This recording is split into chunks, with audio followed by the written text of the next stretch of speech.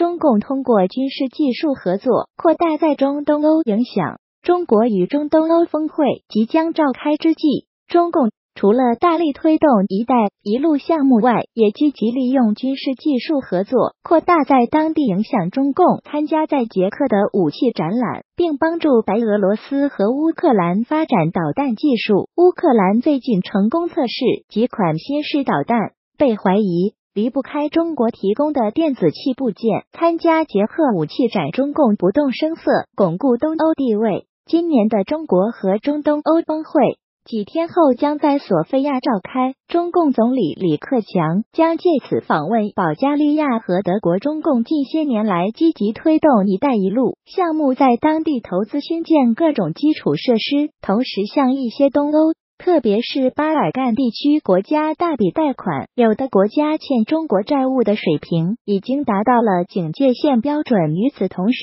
中共也在利用另一手段，那就是通过军事技术合作。来扩大在这一地区的影响。布拉格的回声二十四网站报道，“一带一路”项目把中国和欧洲连接在一起。但中共推动这一项目时，背后也隐藏着军事动机。中共小心谨慎的在为新的海外军事基地选择地点，名义上是为了保护海外经济活动的安全。但不管怎样，中共正不动声色的巩固它在中东欧地区的地位。正因为如此，中共军工企业从二零一五年起参加在捷克第二大城市布尔诺举行的国防和安全技术展览。也就不让人意外，媒体怀疑中共暗中帮忙。乌克兰导弹项目，这家捷克媒体说，中国军工企业目前正大力向巴尔干地区国家推销武器装备，同时向白俄罗斯提供军事科技。报道特别认为，乌克兰今年年初宣布成功测试了能攻击陆地和海上目标的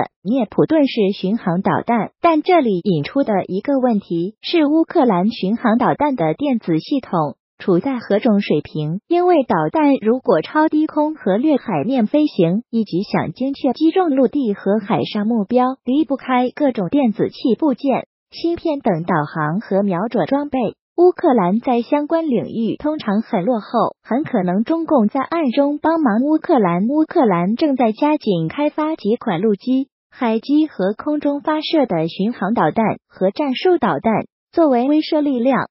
抵御俄罗斯可能的侵略，欧安组织的观察员说，乌克兰东部冲突双方交火的激烈程度目前已经达到了最近几年来的最高水平。乌俄关系紧张，开发导弹抵抗侵略。军事分析人士费根豪埃尔说，普京政权曾期待乌克兰政府因为各种危机垮台。但这种幻想落空，而克里姆林宫又无法容忍乌克兰越来越亲近西方，因此世界杯结束后的一段时间将非常危险，因为夏季非常适合作战行动。他认为，在世界杯足球赛期间，俄罗斯不太可能大规模入侵乌克兰。乌克兰国家安全委员会秘书长土耳其诺夫说，乌克兰开发的导弹全部利用自己的工业基础和技术。其他乌克兰高级官员和军事分析人士说，乌克兰导弹的射程未来能达到莫斯科岸舰导弹针对俄海军克里米亚与俄罗斯本土的大桥。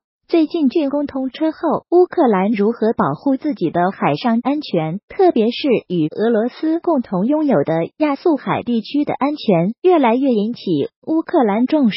俄罗斯吞并克里米亚，造成乌克兰损失了大量海军舰艇和装备，海军基地也被迫转移到南部港口敖德萨。乌克兰海军领导人最近表示，乌克兰海军根本没有力量同俄罗斯在亚速海较量。在这一背景下，乌克兰军事分析人士巴德拉克说：“为了弥补海军力量不足，乌克兰也正在大力开发部署在车辆上可移动发射的岸基型反舰导弹，来对抗俄罗斯的威胁。乌克兰仍有潜力。俄罗斯担心，俄罗斯的一些军事专家已对乌克兰开发。”针对俄罗斯的各种导弹系统感到担忧。有人甚至呼吁，在乌克兰的导弹系统成熟之前，全力阻止乌克兰的导弹开发活动。前苏联时代，乌克兰曾是苏联战略导弹的生产和设计基地，苏联威力最大的洲际战略导弹，当时由乌克兰的南方机械厂设计和生产。苏联解体后，乌克兰军工企业人才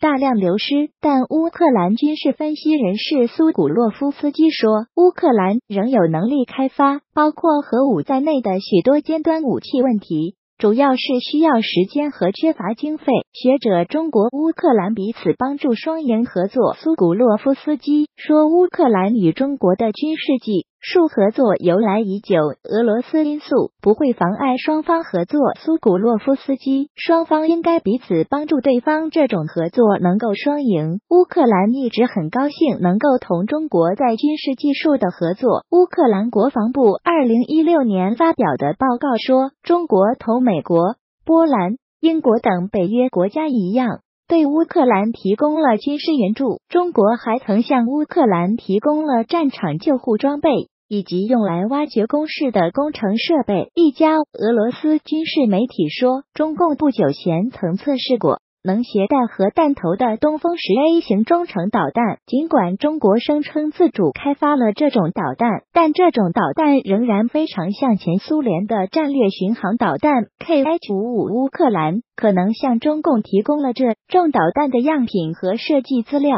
中共从白俄获导弹发射车底盘技术，白俄罗斯总统卢卡申科。也曾公开称赞过中共在军事技术领域所提供的帮助，双方联合研制的波罗乃兹远程火箭炮系统，以及在此基础上开发出来的战术导弹系统，已经在白俄罗斯的阅兵仪式。核武器展览中展出。与此同时，中共也从白俄罗斯获得了导弹发射车的底盘制造技术。目前装备俄罗斯军队的各种导弹，也同样使用白俄罗斯生产的发射车底盘。